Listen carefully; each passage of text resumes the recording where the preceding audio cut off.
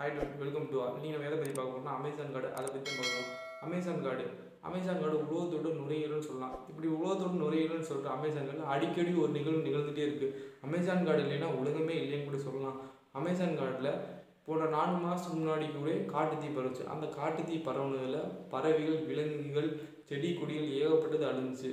இப்படி இருக்க நிலைமையில இப்போ புதுசாக ஒன்று நிகழ்ந்திருக்கு. அது என்னென்னா பிரேசிங் நாட்டில் ஆம்ஃபா அப்படின்னு சொல்கிற மாநிலத்தில் இருக்க அமேசான் காட்டில் அங்கே சுற்றுச்சூழல் ஆர்வலர்கள் வைத்த கேமராவில் பார்க்கும்போது என்னென்னா புலி சிறுத்தை இந்த இரண்டு விலங்குகள் தான் அமேசான் நாட்டில் இருக்க ஆற்றில் மீன்களை பிடிச்சி சாப்பிட்டுக்கிட்டு இருக்குது இந்த மாதிரி ஒரு பெரிய விளைவு தான் நிகழ்ந்துக்கிட்டு இருக்குது ஓகே இன்னும் நம்ம சேனலை சப்ஸ்கிரைப் பண்ணால் சப்ஸ்கிரைப் பண்ணுங்கள் மறக்காம பெல் சிம்பிளை கிளிக் பண்ணுங்கள் அப்போ டெய்லி இன்ட்ரெஸ்டான நியூஸ் உங்களுக்கு வந்து கொண்டே இருக்கும்.